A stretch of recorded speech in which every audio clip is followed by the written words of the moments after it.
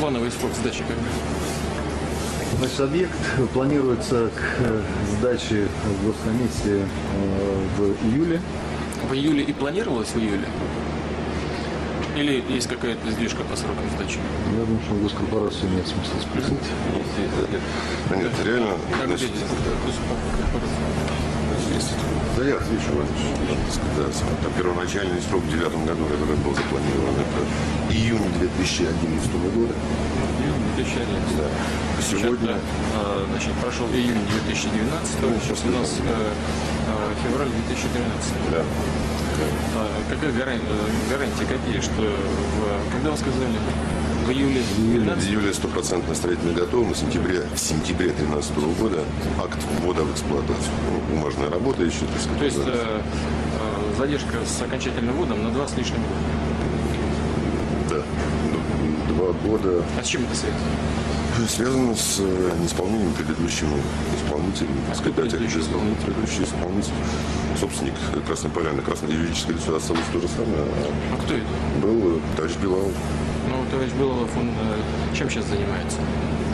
Сейчас курортными северным Кавказа. Молодец, а чем еще? Ну, не знаю больше. Где у нас Белолов работает? Вице-президент Олимпийского комитета. Это у нас вице-президент.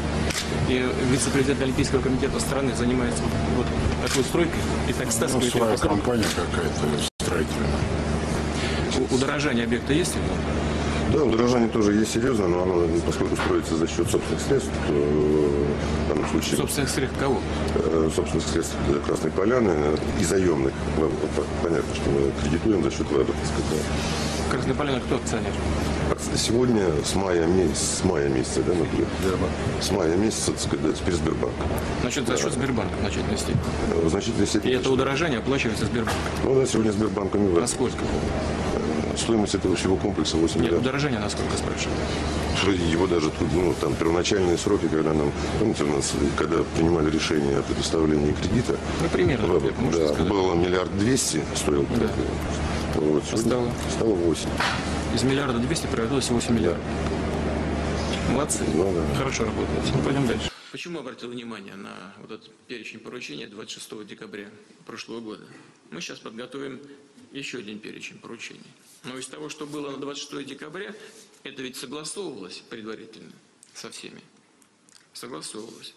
Примерно 80% не выполнено. Я хочу обратиться к вам, дорогие друзья. Вы работать будете или нет? Это что такое?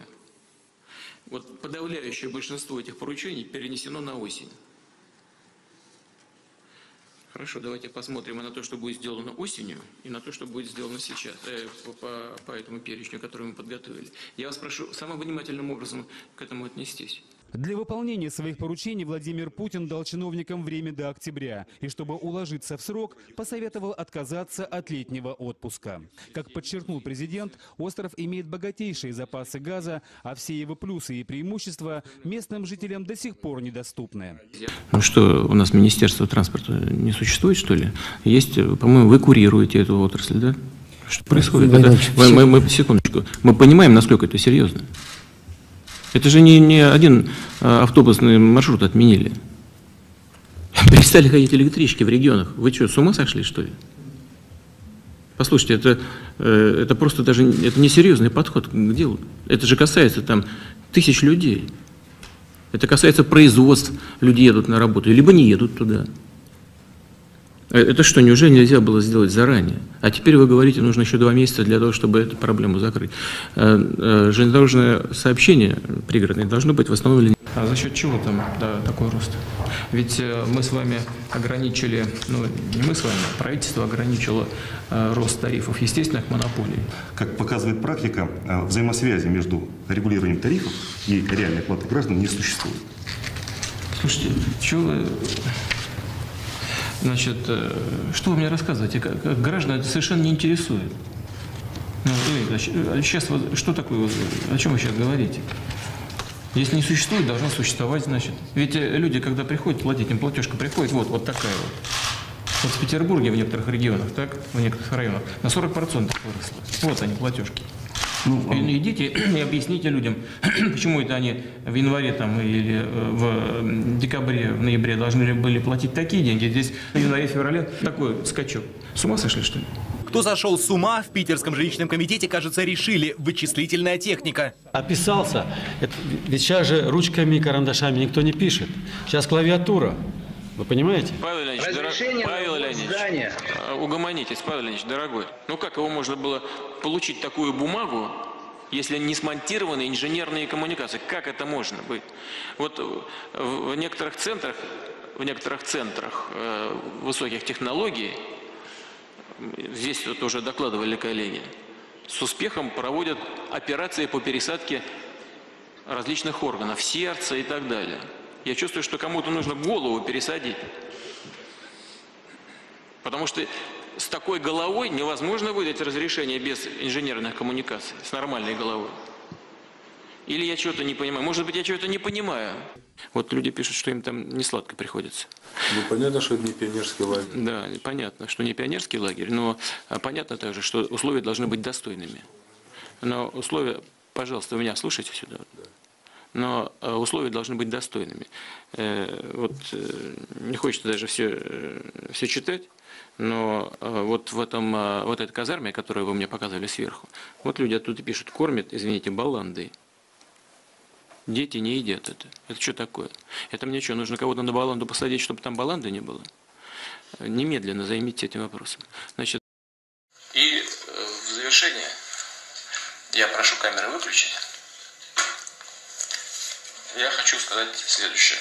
Значит, э, мы с вами понимаем, что указы